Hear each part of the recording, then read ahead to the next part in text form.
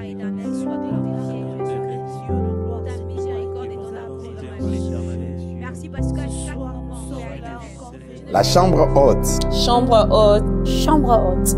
La grande famille, je vous souhaite la bienvenue à la chambre haute. Une chambre de prière et d'exaucement. Une chambre d'intimité et de témoignage. À suivre chaque vendredi. De 23h à minuit. Sur toutes nos pages officielles de WDICC, à savoir Facebook et YouTube.